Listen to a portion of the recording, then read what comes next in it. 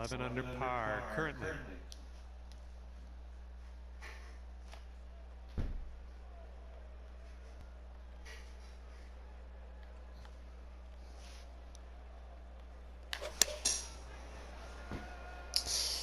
Pushed it a little bit. That's going to work just fine on the approach. Here we go. This one for birdie. And that will drop for birdie.